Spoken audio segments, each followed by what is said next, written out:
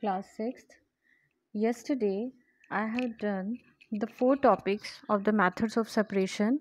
Number one is hand picking, number two is threshing, number three is winnowing, and number four is sieving. Today, we will do the next topic sedimentation, decantation, and filtration. But in this method, what do you mean by the sedimentation?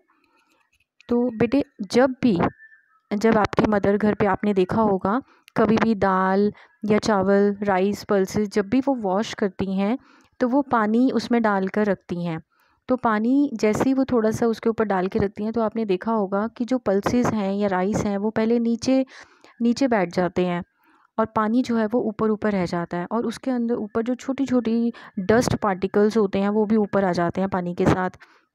तो आपकी mother सबसे पहले तो क्या करती हैं, थोड़ी देर के लिए पानी उसमें मिक्स करके उसको रख देती हैं ताकि जितनी भी पूरी डस्ट है वो ऊपर आ जाए। तो बेटे ये प्रोसेस जब तक वो पानी के अंदर पल्सेस और राइस को डिप करते हैं दिस इज़ कॉल्ड सेडिमेंटेशन यानी when the heavier component in a mixtures settle after water is added to it the process is called sedimentation और जब आपकी मदर वो उस पानी को रिमूव करती हैं along with the dust dust के साथ साथ वो पानी रिमूव हो जाता है।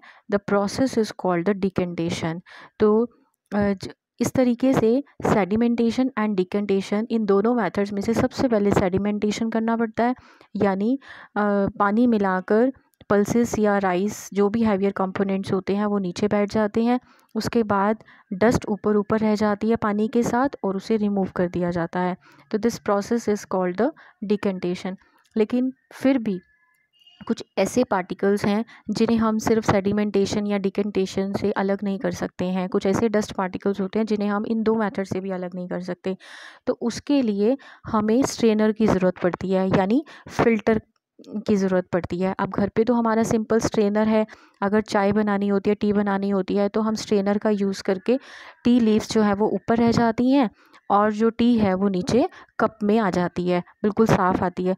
लेकिन अगर इसके लिए हम प्रोसेस सेडिमेंटेशन एंड डिकेंटेशन करने लग गए, अगर हम पूरी की पूरी जो चाय बनी है उसको डायरेक्ट कप में डाल दें और हम वेट करें कि कप चाय पत्ती नीचे बैठे और ऊपर ऊपर से चाय जो है वो रिमूव कर लें तो फिर भी अगर हम ऐसा करते भी हैं तो प्रॉपर अमाउंट में जो प्रॉपर जो ली टी लीव्स हैं, वो भी कुछ ना कुछ थोड़ी सी टी के अंदर आ जाएँगी, जो कि हमें अच्छा नहीं लगेगा। तो इसलिए उसके लिए हमें स्ट्रेनर को यूज़ करना पड़ता है। अब कुछ ऐसी भी चीज़ें हैं बेटे जैसे ऑयल है वाटर है, अगर हम ऑयल कुछ टू लिक्विड्स हैं जो ऑयल है एंड वाटर है, वो आपस में मिक्स नहीं होता। थोड़ी देर के लिए उसको रोक दो, जो ऑयल है, वो तो ऊपर ऊपर रह जाता है और पानी जो है, वो नीचे होता है। तो हम ऊपर ऊपर से उस चीज़ को रिमूव कर लेते हैं।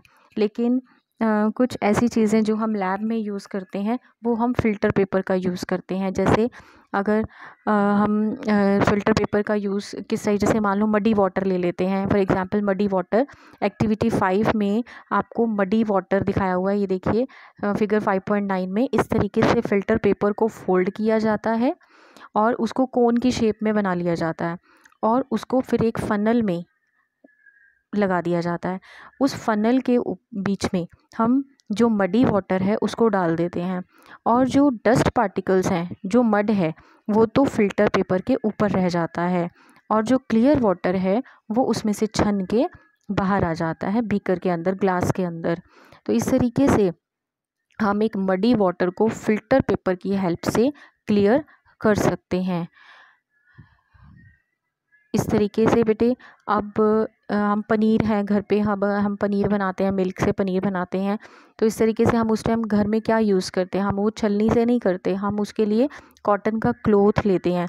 कॉटन के क्लोथ से छोटे छोटे कॉटन के क्लोथ में पोर्स होते हैं छोटे छोटे छेद होते हैं, जिसकी वजह से वो जो पानी है, वो धीरे धीरे उन पोर्स में से बाहर निकल जाता है और आपका जो पनीर है, वो रेडी हो जाता है। ठीक है? तो इस तरीके से हम स्ट्रेनर या फाइन क्लोथ की हेल्प से पनीर बना सकते हैं।